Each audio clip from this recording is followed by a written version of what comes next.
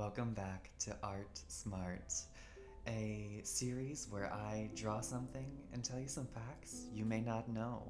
I'm so glad you guys all decided to join me here today for a really lovely Valentine's Day episode. Happy Valentine's Day to all of you guys out there, um, or girls, or non identifying binary, cis people, uh, any under the sun. It's your day too, and we have to use our voices to champion our rights as queer people, as gay people, as LGBTQIJ people. It's so important to do that. Today is a really special drawing because um, I'm drawing uh, the house of my friend, a friend who I have. Um, and I was at their house one time. It's a one story house. As you can see, it's a little cabin in the woods.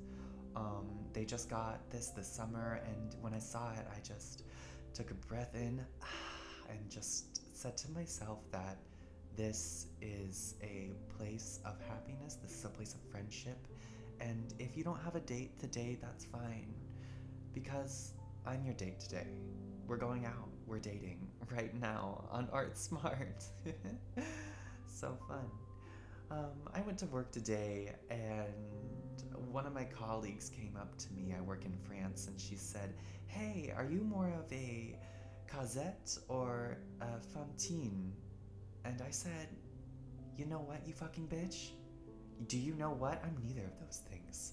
I'm not neither Cosette nor Fantine. I'm fucking Victor Hugo, you fucking bitch. Why don't you get the fuck away from me right now? I wish I had a date on this day, but I don't. So instead, I chose to, you know, do something artistic, and sometimes it's really great to free your mind. Uh, at this moment, I'm coloring in the windows, um, and there's uh, something to be noted about these specific windows. There's a lot of different panes on them. And uh, what a pane is, is that it's a separation of a window, and it's a design choice made by Mr. Payne in 1980, and he actually comes from France. These are French style windows, uh, or a derivation of French style windows. And Mr. Payne said that every man equals five women, and he's in jail now for killing. What is happening in this process right now? As you can see, I'm finishing up the final form of the house and adding on the finishing touches, such as a patio and some trees around it because it's tucked in the forest.